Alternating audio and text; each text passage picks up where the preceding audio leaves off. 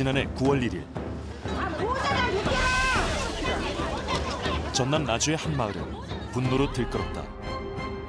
집에서 자고 있던 7살짜리 아이가 납치돼 성폭행을 당한 것.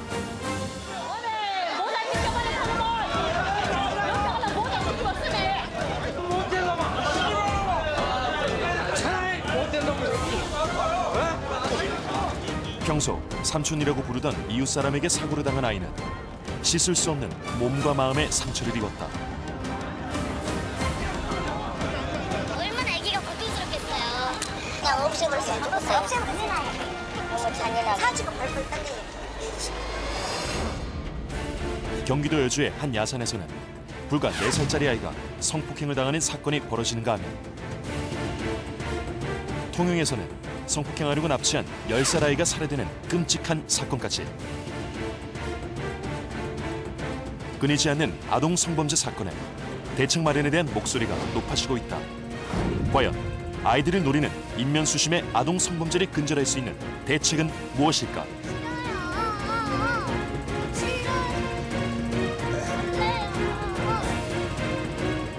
우리는 철저한 재범 관리를 통해 아동 성범죄에 강력 대응하고 있는 샌디에이고 특별수사대를 전격 동행 취재했다.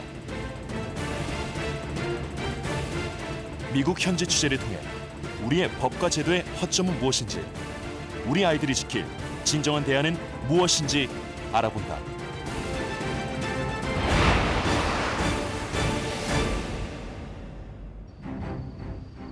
지난 8월 30일 새벽 태풍은 한반도 남단을 강타했다. 바로 그날 한 남자는 돌아올 수 없는 강을 건너고 말았다. 집에서 자고 있던 7살 하은이를 이불째 납치한 그는 아이를 무참히 성폭행하고 목을 졸라 기절시킨 뒤 달아났다. 아이가 가까스로 살아남아 발견된 건 실종 신고를 받고 출동한 경찰에 의해서였다.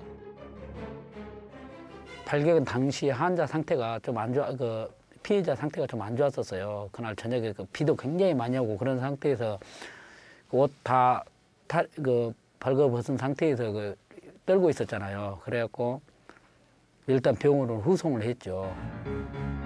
아이는 곧바로 응급실로 옮겨야 할 만큼 위독한 상태였다. 온몸에 남은 살해 흔적과 대장 파열 및 주요 부위 손상까지 조두순 사건의 악몽을 떠올리게 했다.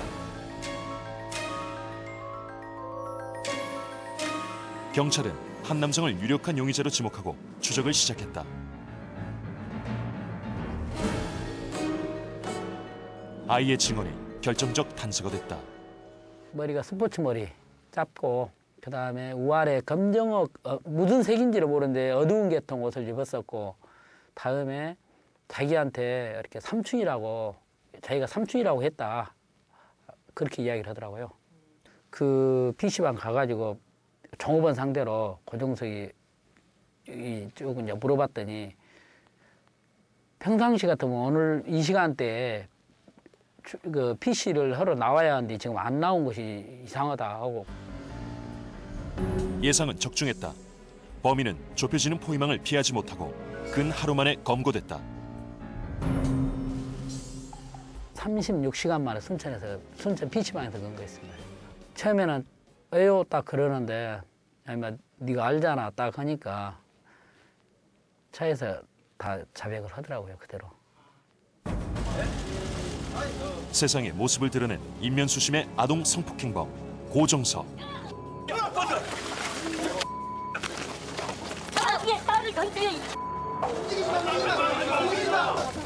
사람들의 분노는 하늘을 찔렀다. 오늘 인정하십니까?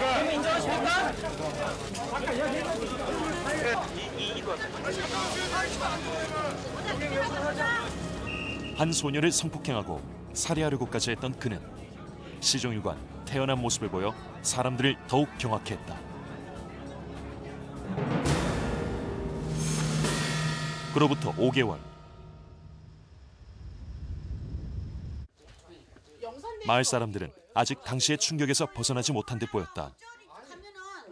어제 애기들 갔다가 그냥 데리고 가갖고 그런 짓거리를 했으니 소름 끼치게 그 얘기가 죽었으면 무서워서 나가도 못해요. 그러니까 그런 사람들을 인권 침해랑 해갖고 봐주지 말고 어? 그것들을 없애야 된다게 없애야 돼. 안타깝지. 우리 새끼들만 아니라 우리 세계적으로 없어질 일지 그런 일은. 피해를 당한 하은이와 가족들은 어떻게 지내고 있을까? 하지만 문은 굳게 잠겨 있었고 이미 이사를 떠난 듯 보였다. 작은 가게를 운영하며 근근히 살았다는 하은이네. 아이는 어려운 가정 형편에 지역 아동센터에서 지원을 받았다고 한다.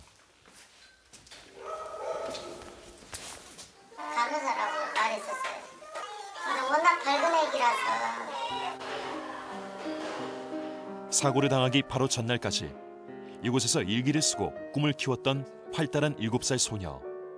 하지만 예기치 못한 사고로 많은 것이 달라져 버렸다. 우리는 수소문 끝에 하은이 엄마를 어렵게 만날 수 있었다.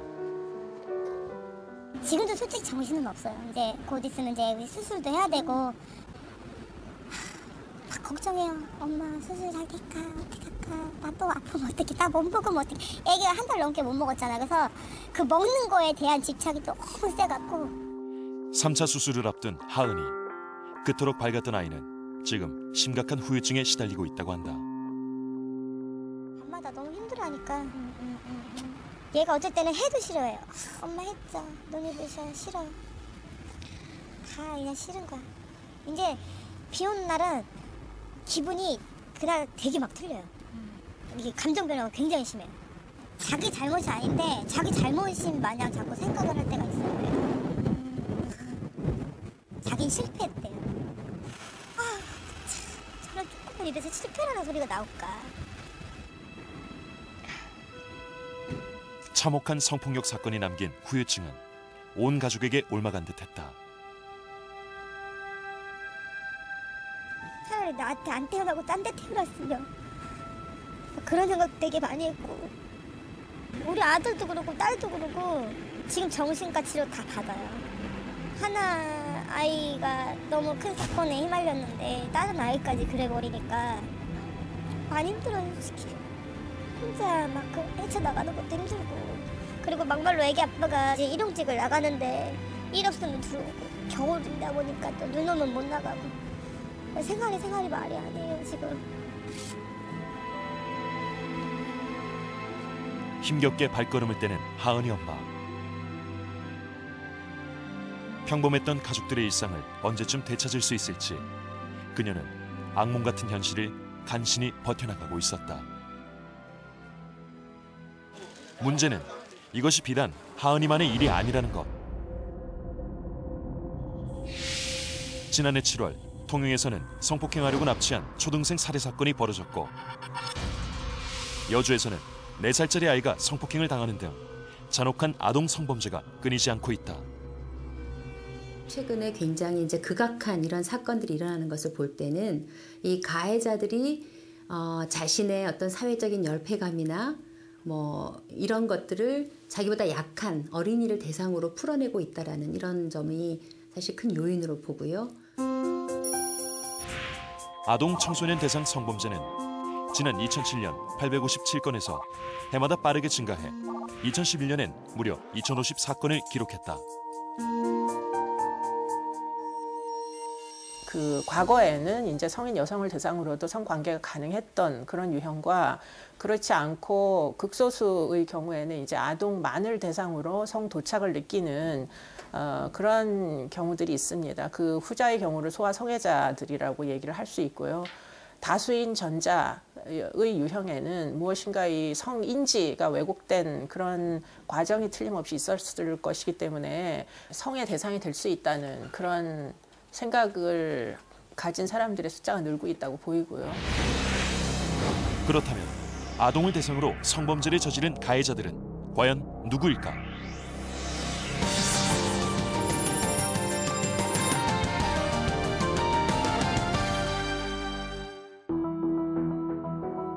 나주에서 7살 하은이를 성폭행한 고종서. 아이가 그를 삼촌으로 부른 데는 이유가 있었다. 그는 하은이네 가게의 손님으로 안면이 있는 사이였기 때문이다. 그렇게 장사하다가 어느 날 이제 그때 이제 그때 처음에 고정석을 본 거예요. 이제 손님이니까 그래서 이 동네 산다 그러니까 한 두세 번 봤나? 두세 번 와서 팔아주더라고요.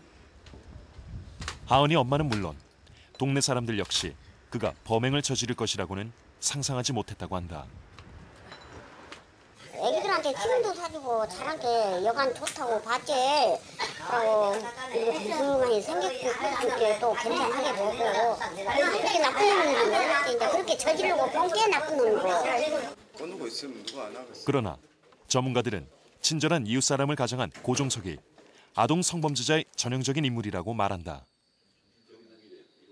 이런 사람들의 그 이 음, 삶의 어떤 그 이 환경들이 대부분 사회로부터 고립되어 있는 경우들이 많습니다. 그래서 먼 지역이라든지 자기가 범행을 하기 위해서 좀 낯선 지역을 어, 피해자를 찾아서 어, 돌아다닌다든지 이런 행동을 하는 경우보다는 어, 자기가 친숙한 지역 또는 그 범행 후에 자기가 도주가 용이하거나 범행을 은폐할 가능성이 높은 곳에서 범행을 저지르는 그런 형태로 나타나고 있습니다. 그런 그 일련의 과정 속에서 필요한 것이 결국은 타인들 또는 아동들로부터 자기가 굉장히 친절하고 좋은 사람으로 평가되기를 굉장히 추구하는 경향성들이 많습니다. 20대 청년 고종석은 어쩌다 아동 성폭행범이 되었을까?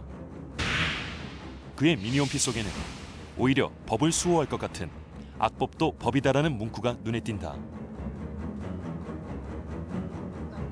그러나 그의 어린 시절은 순탄치만은 않았다. 새어머니와 불화가 잦았고 중학교를 중퇴한 뒤에는 차츰 범죄에 발을 들여놓기 시작했다. 어려운 환경에서 자랐더라고요. 어렵다 보니까 이제 막 어, 절도 뭐 하고 막 그랬는가 봐요. 그래갖고 이 몇 년 전에도 이게 이 애가 그 동네에서 살다가 여기도 온 오게 이쪽으로 온 것도 그냥 온 게 아니라 뭐 거의 뭐 나쁜 짓을 해가지고 뭐 쫓겨왔는가 봐요. 성인이 된 뒤 그가 남긴 행적 중 주목할 만한 것이 있다. 사건 발생 전날은 물론 검거된 날에도 PC방에 머물렀던 고종서. 그가 하루가 멀다 하고 자주 PC방을 찾는 데는 특별한 목적이 있었다. 평소 어린 여자를 상대로 한 일본 야동을 즐겨보았고 자신도 어린 여자와 성행위를 해보고 싶다는 생각을 갖고 있었으며 술을 마시면 이러한 충동을 더 강하게 느꼈다고 생각합니다. 그는 PC방과 모텔 등지에서 아동이 나오는 일본 포르노물을 즐겨보는 중독자였고 결국 그것을 실행에 옮긴 것이다.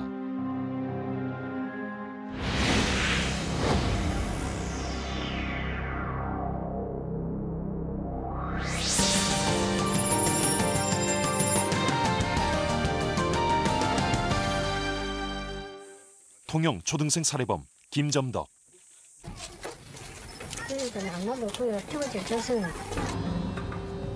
김씨 역시 평소 피해 아동인 한아름 양이 아저씨라고 부르던 이웃 사람이었다. 등굣길에 아이를 학교까지 태워다 주며 친절을 베풀었던 그는 돌연 성폭행범으로 얼굴을 바꿨다. 친구 사이에서 집을 나갔어요. 그 나하고 아름이 저 사람이. 그는 아이를 성폭행하려다 실패하자 무참히 살해하고도 한 방송사에서 목격자로 인터뷰를 하는 뻔뻔함까지 보였다. 피해자에 대한 아픔을 공감한다든지 또는 그 자기가 가해한 행위에 대해서 어떤 그 죄송스럽다거나 미안하다는 감정보다는 본인이 추구하는 것을 이루고자 하는 것에 초점이 맞춰져 있기 때문에 어, 기본적으로 뭐 공감 능력이 매우 저하된 이런 상태다 이렇게 판단을 할 수가 있습니다. 전과 시비범이었던 김 씨는 성폭력 전과도 있었다. 2005년 60대 노인을 성폭행하려다 반항하자 돌로 때린 혐의로 4년간 실형을 산 것. 그는 고종석과 마찬가지로 평소 아동 음란물에 중독된 것으로 드러났다.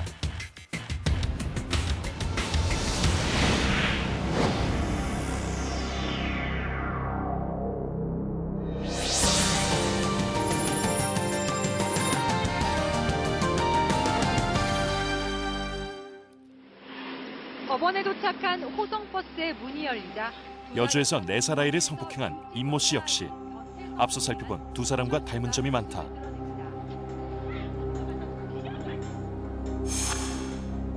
임 씨도 피해 아동의 이웃 사람이자 그다지 눈에 띄지 않는 조용한 사람이었다는 것. 그럴 만한 사람은 아니었던 것 같은데 그런 사건이 났으니까 많이들 놀린 거죠. 뭐 그렇게 어디서 말썽 피우거나 이런 거는 없었어요. 착했어 애가 그러더니 그 사고 나고는 그렇게 되더라고. 매일 술 먹고 그 못된 애들 그 젊은 애들 그 술 먹는 애들이 여기 또 몇 명이 있어. 걔네들하고 어울려갖고 그렇게 술을 먹고 그러더라고. 세 사람의 가해자들은 하나같이 사회적 외톨이였다는 공통점을 보였다. 어, 본인이 성장 배경에서 굉장히 어떤 사람들과의 관계를 유지하는 데 실패한 경험들을 많이 갖고 있습니다. 그래서 음, 통상적인 어떤 상식의 선에서 사람들과의 관계를 형성하고 또 사회적인 이 삶을 유지하는 과정에서 실패한 경험들이 많기 때문에 이 아동들을 상대로 또는 취약한 여성들을 상대로 범행을 저지르는 이런 그 표출적인 형태로 나타나고 있는 것이 이제 대부분 나타내고 있는 공통점이라고 할 수가 있겠습니다. 특히 두 사람은 심각한 아동 음란물 중독자로 드러났다. 그렇다면 음란물이 실제 범죄에 얼마나 영향을 미칠까? 성범죄 수용자 57%가 영향을 미친다고 답했고 놀랍게도 아동 성범죄자의 16%가 범행 직전 아동 음란물을 본 것으로 조사됐다. 음란물 속에서 나오는 아동이나 청소년들은 성 피해로 인한 고통을 호소하는 장면이 포함돼 있지 않아요. 그렇기 때문에 음란물만을 계속 시청을 하게 되면 성인 여성 못지않게 아동이나 청소년도 성적인 쾌감 같은 것을 느끼지 않을까 하는 그런 생각에 뭔가 오류를 야기시키는 것이죠. 가장 심각한 문제는 사회적 외톨이이자 왜곡된 성의식을 가진 이들이 언제라도 다시 아동을 대상으로 성범죄를 저지를 수 있다는 사실이다.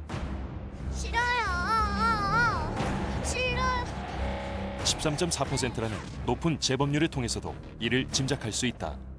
아동 성범죄를 저지르는 사람들은 언제든지 기회가 되면 그런 기회를 어, 자기 범행을 저지르는데 그 이용할 수 있는 가능성이 높고요. 그것을 자기 스스로 어, 의지에 의해서 멈추거나 어, 범행을 정지할 수 있는 이런 능력이 없기 때문에 어, 외부적인 영향과 조건들, 교정 또는 이런 치료적 입장에서 어, 보다 좀 어, 적극적인 이런 그 것들이 진행되지 않으면 계속해서 재범을 저지를 수밖에 없는 상황이 반복된다 이렇게 판단을 하고 있습니다. 김점덕 역시 이미 성폭력 전과가 있었다. 그렇다면 실형까지 살았던 그의 범행을 막을 수는 없었을까? 현재 여가부에서 재범 방지를 위해 운영하고 있는 신상 공개 사이트. 김 씨가 살았던 지역을 검색해 보기로 했다. 어찌된 일인지 그는 대상자가 아니었다. 통영 사건의 그 범죄자의 경우 2005년도에 성인 대상 성범죄를 일으켰기 때문에 그 사람은 저희 그 신상 공개 대상이 아니기 때문에 등록되어 있지 않습니다. 초등학생을 성폭행 한 뒤 신형 전자 발찌까지 끊고 달아났던 성범죄 관리 대상자가 서울 동부지검은 전자 발찌를 착용한 채 대낮에 도심 건물 옥상에서 여중생을 성폭행한 혐의로 53살 박모 씨를 구속해 조사하고 있습니다. 정부의 재범 관리 대책을 비웃기려도 하듯 전자발찌를 찬 채 줄줄이 범행을 저지르는 가해자들. 신상 공개 제도뿐 아니라 전자발찌 역시 관리에 구멍이 뚫려 도마 위에 오르고 있다. 그렇다면 쏟아지는 아동 성범죄 근절 대책에도 불구하고 왜 실효를 거두지 못하는 것일까?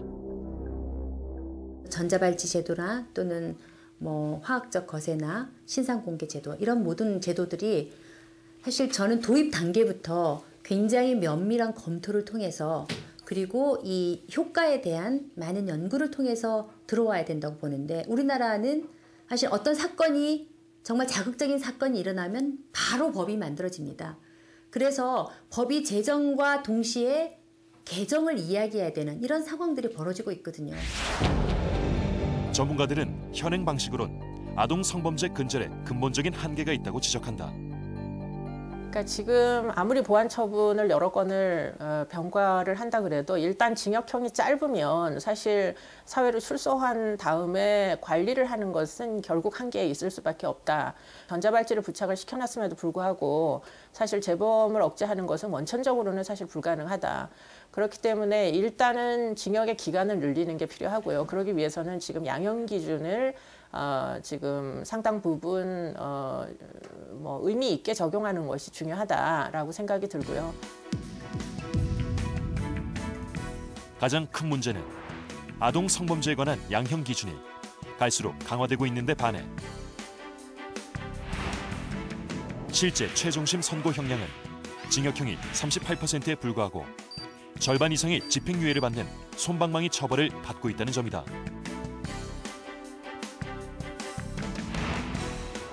세계 각국과 비교하면 우리나라의 처벌 수위를 더욱 확연히 알 수 있다. 아동 성범죄자는 예외 없이 종신형에 처하는 스위스, 사형까지 처하는 중국 등 아동 성범죄자에 대해서만큼은 각 나라마다 엄벌에 처하고 있다. 미국 법원이 10대 성폭행범에게 이렇게 선고했습니다. 사람이 아니다. 소년으로 봐선 안 된다. 단지 한 마리의 개일 뿐이다. 그러므로 가석방이 없는 종신형을 내린다. 10대 성폭 지난해 미국 법원은 아동 성폭행범들에게 가석방 없는 종신형과 징역 99년형을 선고했다. 11살 소녀를 빈집으로 유인한 뒤 20명의 남성들이 집단 성폭행해 미국 사회를 공분의 도가니로 만들었던 텍사스 집단 성폭행 사건. 가해자들이 10대와 20대였지만 사법부는 나이가 어리다는 이유로 이들을 용서하지 않았다. 도리어 짐승에게 자비를 베풀어서는 안 된다며 죄값을 치르도록 한 것이다.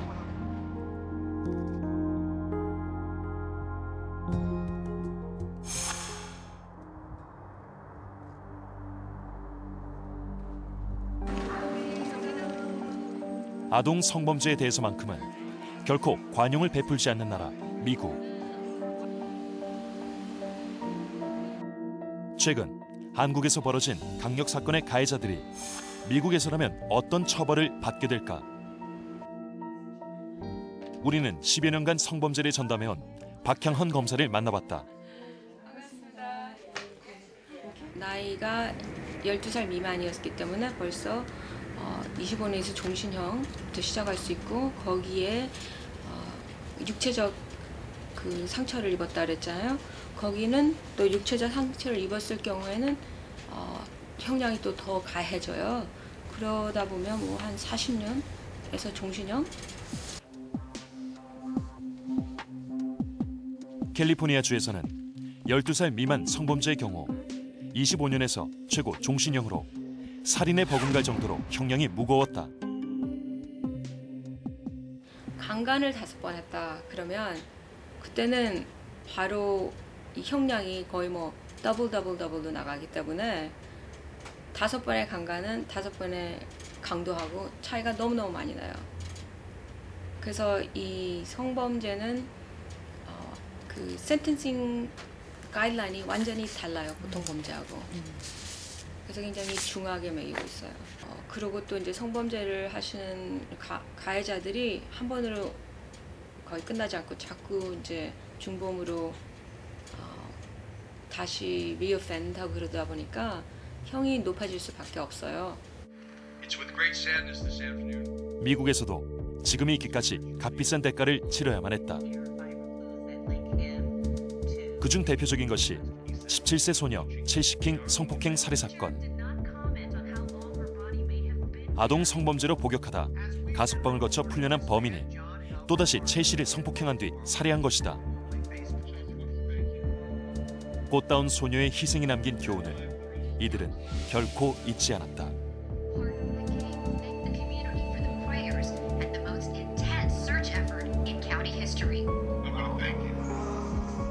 또 다른 사건을 계기로는 형기가 다 끝나더라도 성폭력 흉악범으로 진단받을 경우 치료가 끝날 때까지 무기한으로 치료 감호를 받을 수 있게 됐다.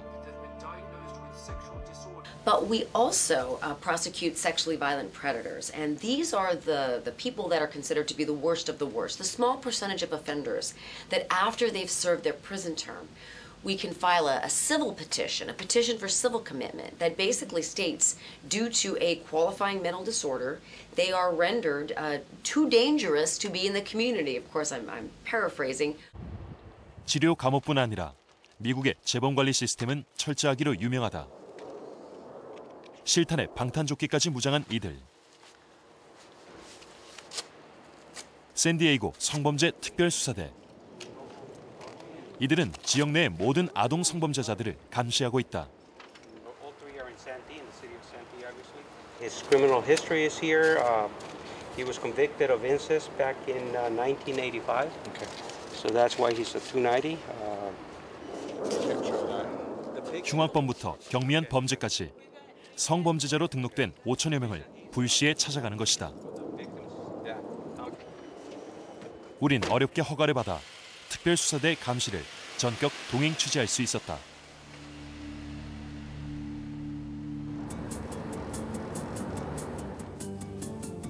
마침내 첫 번째 아동 성범죄자의 집에 도착했다. 근친으로 유죄 판결을 받았다는 남자. 범죄를 저지른 것은 28년 전이지만 그는 계속해서 감시의 대상이다.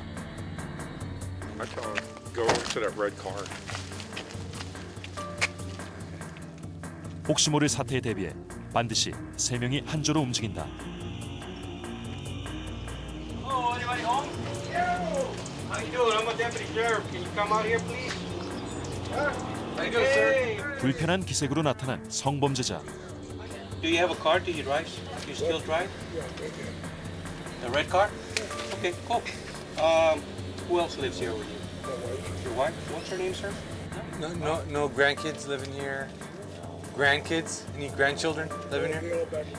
Oh, okay. 차량과 동거인을 꼼꼼히 확인하고 언제라도 불시 방문이 이뤄진다는 사실을 통해 그에게 심리적 압박을 가한다. Oh, we're basically we want to verify that all the information that we have, information that he provided at his registration checks, we just want to make sure they're accurate and there's no changes. For example, um, new vehicles, We want to make sure we have the license plate of the vehicle that he's currently driving. 특별 수사대 허위 보고를 하는 것만으로도 2, 3년의 실형에 처해질 수 있다.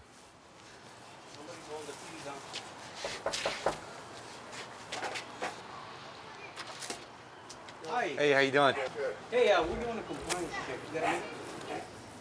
Has anything changed since you last registered with the sheriff's department? No, it hasn't. Um, anything changed? 이곳에서는 아무리 경미한 성범죄를 저질렀다 해도 평생 감시의 대상이 된다. Uh, this this uh, sex offender was uh, committing lewd acts in public. He was uh, he was showing his private parts in public. in California, once they get convicted of a sex crime, Uh-huh. they're sex offenders for life, and we have to check, check them, and they're registered with us for life. So forever and ever until they die. That's just the way it is. So. 1992년에 설립된 샌디에이고 성폭력 특별수사대.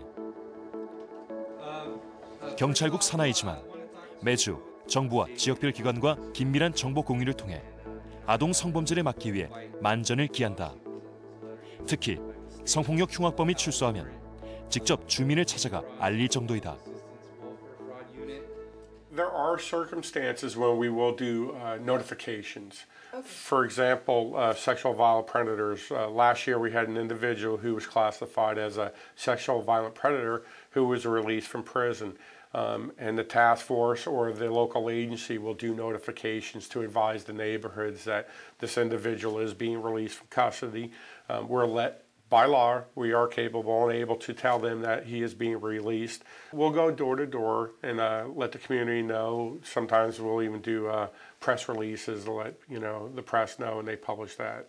Uh, but there are certain circumstances where we can go and uh, go door to door and let people know that an individual will be uh, residing in their neighborhoods. 지난 2002년 다섯 살 소녀 사만다는 집 앞에서 놀다 납치돼 성폭행 과정에서 안타깝게도 목숨을 잃었다. 범인은 성폭행 전과자였다. She was playing with her uh, friend in her um, play uh, the yard area out in front of their apartment. This person who was from Riverside County came here and specifically looked for whatever it is he was looking for in a small child, and he waited till uh, he had his opportunity, and he took her.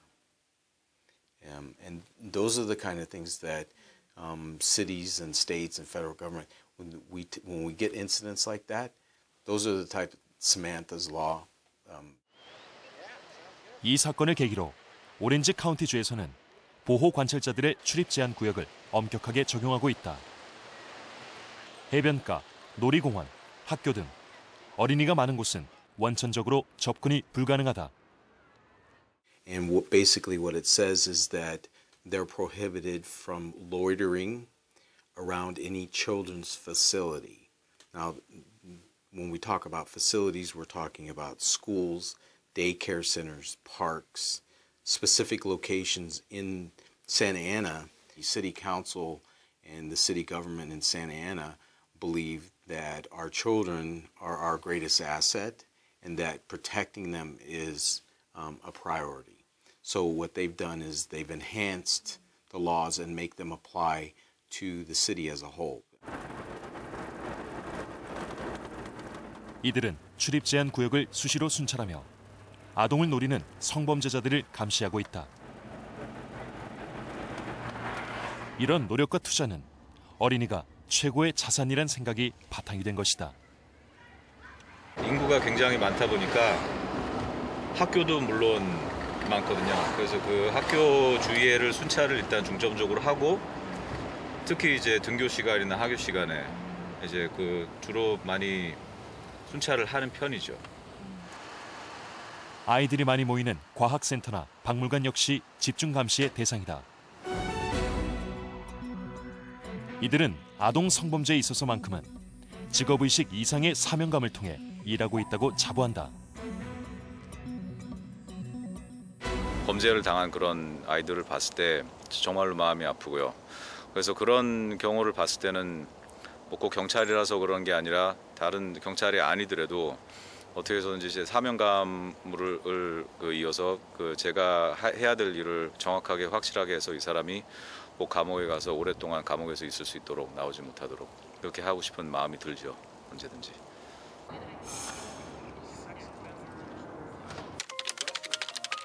오렌지 카운티에서는 직접적인 현장 감시 외에도 GPS를 통한 감시 시스템을 운영하고 있다. It's real time. It's near. It's near real time. You know, if it's a mistake. 전자발찌를 착용한 보호 관찰 대상의 실시간 위치를 24시간 감시한다. This person's going 28 miles an hour, and the the black bars. That means that the person is charging his device, like in the car, charging it.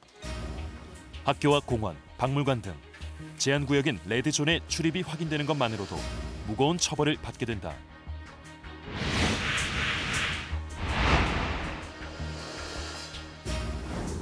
And in that particular case, they followed this individual and they, they identified when they zoomed in on the map on the satellite view, they realized that the person was actually at an elementary school park.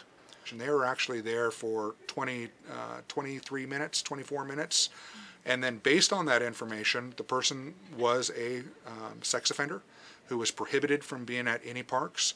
Um, and based on the information that we provided on GPS techs, the person was sentenced to seven years state prison.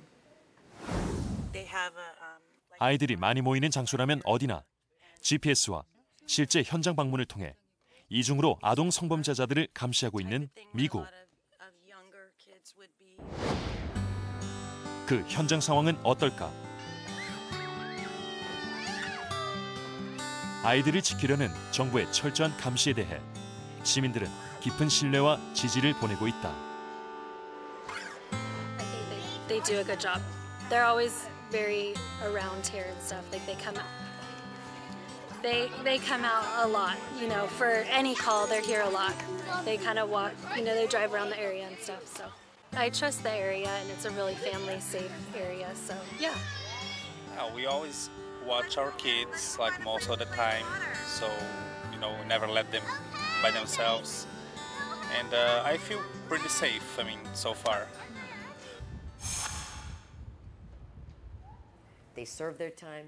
우리가 웬디 검사를 다시 만난 곳은 뜻밖에도 한 대학 강의실. Somebody that is now, um, which one of these people do you think is the sex offender? This guy, the top on the left. Okay. Anybody else have any other ideas? elderly. Elderly guy. this is kind of a trick question. What do you suppose the answer is? All of them. Target victims, knowing how they do it. 현직 검사인 그녀는 대학생들에게 아동 성범죄자를 알아내는 신호에 대해 특별 강의를 하고 있었다.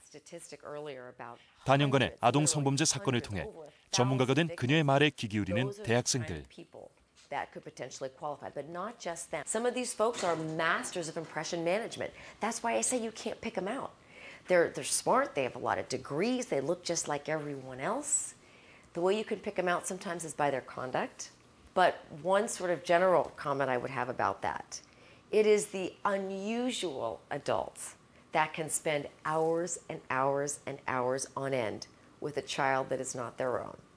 And they score high in all of these categories. 웬디 검사는 학생과 교사를 비롯해 경찰들에게도 이런 강의를 하곤 한다. 가장 좋은 아동 성범죄 근절 대책은 바로 예방 교육이라는 차원에서이다. I want to become a lawyer, and I wanted to learn more about, uh, you know, just law in general. Extremely interesting. I thought that that lecture was really, really great. Um, we train law enforcement, we talk to educators, we talk to community groups very frequently. You get a bunch of interested students that want to learn more about not only what are the laws uh, that uh, surrounding sex crimes in general, but how do we as a community protect ourselves and our loved ones? What what do we really or should we really be looking for? So that's part of what we do. We prosecute cases, but we also want to make sure that we're very proactive in outreach efforts and always very responsive to a community that wants to know more about these types of laws. 미국은 특히 아이들과 가장 오랜 시간을 보내는 교사들에게 집중적인 교육을 하고 있다. 또한 교사들이 적극적으로 신고를 하게끔 제도적인 근거가 마련돼 있다. 학교에서 선생님들이 어, 경찰에 연락해서 오는 경우가 음, 거의 한 3, 40% 된다고 생각이 돼요. 에세이를 쓰라 그러잖아요, 영어 시간에. 그러면 이제 내가 어렸을 때 이렇게 막 써요. 우리 삼촌이 어떻게 했고, 뭐, 뭐, 아빠한테 어떻게 됐고, 뭐 이걸 쓰잖아요. 그럼 선생님이 그걸 보면 바로 경찰에 연락해야 돼요. 경찰에 연락 안 하게 되면 그건 선생님이 어, 책임을 물을 수가 있어요. 예방이 우선이지만 이미 벌어진 사건에 대해선 피해자를 돕는 전문적인 기관이 마련돼 있다. So this is one of our interview rooms. And 진술 녹화가 이루어지는 방 곳곳에서 세심한 배려와 과학성을 엿볼 수 있다. physical environment is important uh, when talking to a young child. I'd like for it to be comforting, um, feel safe. Also prefer an environment that doesn't have too many distractions. Not too many toys, some comfort items, but not too much stimulation. Um, 2차 피해를 막기 위해 음성 녹음 장치와 두 대의 카메라로 최대한 한 번에 진술이 이루어질 수 있게 한다. 진술 녹화가 이루어지는 방엔 또 하나의 비밀이 있다. 바로 거울 너머 참관이 가능하다는 것이다. This is where the investigators will observe. This room is soundproof. 아이가 진술을 하는 동안 전문가들이 현장에서 즉각적으로 아이를 도울 수 있는 방안을 강구하고 이를 각 기관과 공유한다. 13년간 이 일을 해온 니콜은 아이들의 발달 특성과 심리적 상태를 최대한 고려해 인터뷰를 진행하고 있다. A child age 3 is different than a child age 7, is different than a child age 12. How uh, children are uh, developing um, their language abilities, how they're developing uh, recall and other cognitive abilities, impact uh, how they're able to retell a remembered event. So, having someone with a, a mental health background is important to also be assessing for um, emotional distress. Uh, again, remembering that minimizing trauma is, is also um, of huge importance for the forensic interviewer.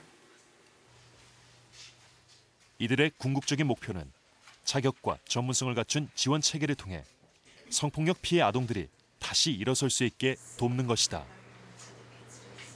wretched that that um, it creates a sense of hopelessness. And what we want for these victims is is to get hope back and to continue to be curious about life and continue to have positive relationships with people and to experience beauty and the thing again. So so there can be hope in it too. 지난 1월 초 서울 고등법원 앞 매선 추위를 뚫고 여주에서 먼 걸음을 달려온 4살 성폭행 피해 아동의 엄마. 그녀가 찾은 사람은 이명숙 변호사와 나영이 아버지였다. 마음고생 많으셨겠어요. 지금도. 어, 어떤 게 가장 힘드셨어요? 가장 힘든 거는 처음 알았을 때. 그렇죠. 그때가 완전히 좀 보고. 4살짜리 딸이 성폭행을 당한 것만으로도 견디기 힘든데 그 충격으로 남편까지 뇌출혈로 쓰러져 버린 안타까운 상황. 그런 그녀에게 정부에서 마련해 놓은 피해자 구제 방안은 도리어 상처로만 남았다고 했다. 1억 원 감리되어 일반 사람이랑 똑같이 외래 진료해가 접수 시작해갖고 똑같이 진료 시간 기다려서 똑같이 받아야지 되는 거고 아이를 그 데리고서 돌아다녀야 된다는 거예요. 그러니까 이거는 말로만 원스톱이라서 제가 너무 안 하다. 차라리 그럴 거면은 보건소 쪽으로 이- 이관을 해서 좀 저거 하던지, 예, 종합적으로 해주시던지. 법으로 지정해놓은 원수톱이 그 정도라는 얘기는 할 말이 없는 거죠. 변호사가 도와주는 부분이나 이런 변호사의 도움 받는 거 없었어요. 솔직히 말해서 처음만 아 누구 담당이 됐으는 게 누구입니다라고 이렇게 했는데 제가 정신이 너무 없는 상태 전화만 했고 아, 이번 일을 그냥 지나갈 건 아닌 것 같고요. 물론 가해자인 그 범인 그 사람을 상대로 손해배상하는 것도 필요하지만 법률 조력인제도 제대로 시행되지 못하게 한 국가의 책임도 있는 것 같고요. 우리 주장할 거고 심각한 2차 피해를 입은 나영이 사건을 국가의 책임을 물어 승소를 이끌었던 이 변호사는 이번 건도 소송을 진행할 예정이다. 양적인 팽창만 있지 질적인 팽창이 없기 때문에 그래서 제대로 서비스를 받지 못하고 2차 피해는 늘어나고 여전히 늘어나고 어, 세금은 엄청 없어지는 거고요. 이를 막기 위해서는 기존에 있는 제도를 제대로 깊이 있게 뿌리에 내리게끔 하는 그런 점검과 재정비가 필요한 거죠. 변화되는 행정이나 제도 이런 것이 좀 있었으면 바라는 마음이었었는데 이게 또 음, 애기 엄마 얘기 듣고서 또 지금까지 음, 4년이 넘, 넘게 지금 흘러가는 이런 중에도 아, 변화가 크- 별로 없구나. 정말 안타까운 마음뿐이에요. 이런 일은 있, 있지 말아야 되는데 어차피 뭐 이런 일어난 거 되돌릴 수는 없는 상황이고 더 이상은 이런 피해가 있더라도 빨리빨리 좀 대처가 되는 사회적으로도 그런 시스템이 빨리 좀 해줬 저게 됐으면 좋겠고. 고종석의 1심 4차 공판이 열린 지난 1월 10일 법정 앞에서 하은이 엄마를 만날 수 있었다. 그녀가 어려운 발걸음을 한 데는 특별한 이유가 있었다. 어, 아저씨 벌 주는데 오늘 어떤가 결과 보려고 가는 거야 그랬더니 아 그래 그럼 엄마 내가 저녁에 편지 써놓을 테니까 이거 갖고 가 그래갖고 이제 또 그걸 쓴 거예요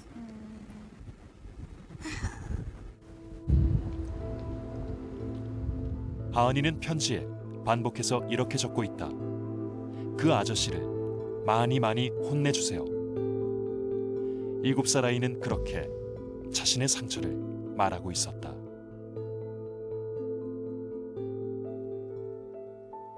이날 검찰은 고종석에게 사형을 구형했고 이달 말 1심 선고를 앞두고 있다. 근데 얘네들은 살 날이 너무 많잖아 세상 살아가려면 진짜 한 지금 열, 어? 여섯 이제 일곱 살인데 우리 아이한테도 희망이라는 걸 좀 보여줬으면 좋겠어요. 아, 법은 이래서 좋구나. 어?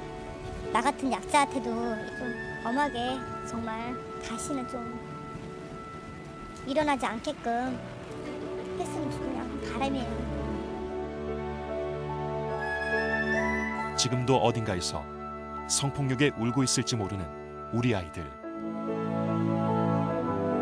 한시라도 빨리 철저한 재범 관리와 무관용 원칙을 바로 세워야만 하는 이유이다.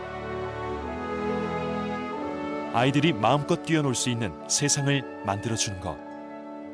그것은 어쩌면 어른들이 잊고 있었던 가장 중요한 과제가 아닐까.